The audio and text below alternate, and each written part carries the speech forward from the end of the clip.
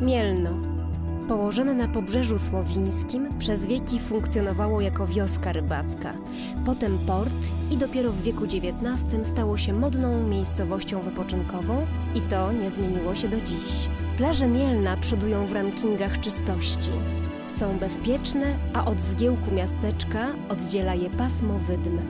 Okolica jest gościnna także dla wczasowiczów, którzy nie lubią białych śladów bikini na opalonym ciele. Plaża na turystów znajduje się w pobliskich łazach.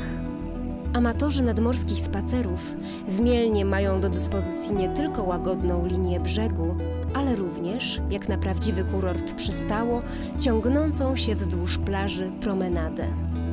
W Mielnie możesz mieć dylemat: spędzić dzień nad morzem czy nad jeziorem.